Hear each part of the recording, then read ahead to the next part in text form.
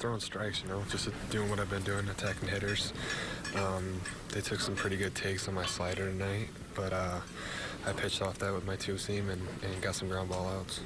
Did you feel kind of the atmosphere? I mean, did you, kind of feed off kind of the, the energy kind of here tonight? Yeah, Was definitely. That, that? It definitely felt different. Um, the crowd was very into it. It was very loud. Um, but I felt like I did a good job of kind of controlling the pace and taking a step back when, when I needed to in those situations and, uh, and got out of some tough spots. Not that you guys aren't focused every day or anything, but what they're doing right now, did that give you some extra juice ready for the team today? Um, we kind of just took it as any other game. I mean, obviously there was a little more on the line, being the streak and stuff, but uh, we took it as, as any other game. Um, we went out there, we played hard, and just came up a little bit short.